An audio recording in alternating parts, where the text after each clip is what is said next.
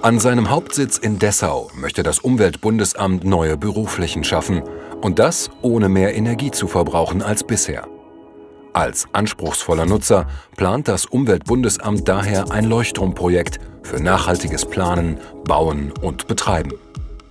Neben dem preisgekrönten Hauptgebäude entsteht ein Plus-Energiehaus für etwa 100 Mitarbeiterinnen und Mitarbeiter mit eigenem Konferenzbereich.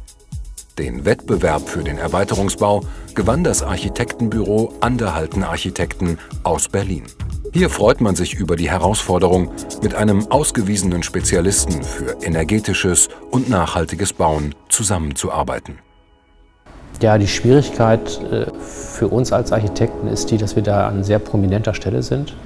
Also das, äh, das Hauptgebäude des Umweltbundesamtes ist eben halt recht groß und wir bauen ja, eine Ergänzung, etwas daneben, was äh, natürlich auch sich selbst erst einmal behaupten muss gegenüber so einem großen Gebäude. Und ähm, die Überlegung war eben halt, da ein Stück weit auch zu, zu vermitteln. Das Gebiet selbst hat als ehemalige Industriebrache einen sehr heterogenen Charakter mit einem direkt anschließenden Wohngebiet. Das Büro Anderhalten Architekten näherte sich in seiner Planung über verschiedene Modellbaukörper an das Gelände an, um den richtigen Standort für den Neubau zu finden und nicht einfach einen Anbau zu entwerfen.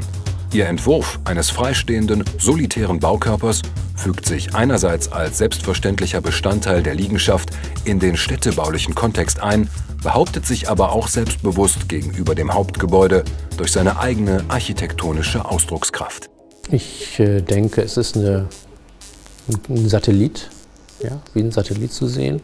Und es würden sich eben halt auch noch mehrere Satelliten an dieses, an dieses Mutterschiff, und das Hauptgebäude andocken lassen. Die Eigenständigkeit des zukünftigen Erweiterungsbaus wird durch die amorphe Gebäudeform erzielt. Besonders auffällig ist die Fassadenstruktur. Die Architekten entwickelten eine besondere Falttechnik. Diese vergrößert die Oberfläche des Gebäudes.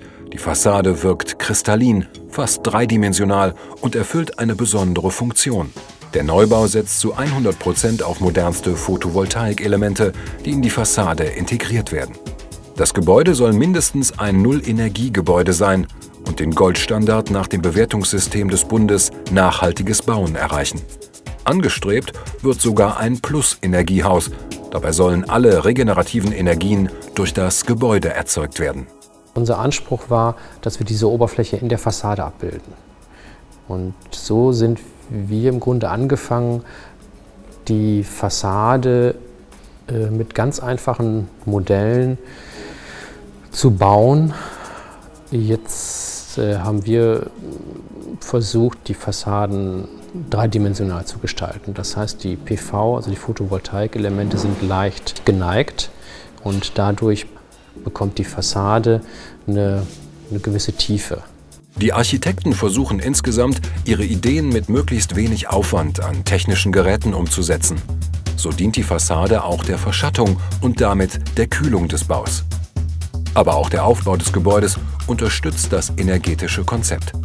Die zwei Atrien schaffen nicht nur eine besondere Lichtstimmung, sie bilden auch einen natürlichen Luftkanal bis zum Obergeschoss.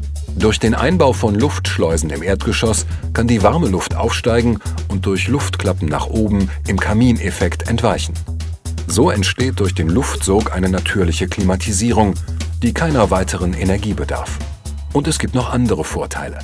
Dadurch, dass wir die Typologie eines, eines Atriumgebäudes gewählt haben, versuchen wir bestenfalls eine möglichst hohe ja, Transparenz, einen hohen Komfort an Miteinander dort zu gestalten. Das Atriumgebäude hat den Vorteil, dass sie eben halt über die Geschosse hinweg die Kollegen sehen können, dass es eben halt die Kommunikation untereinander fördert.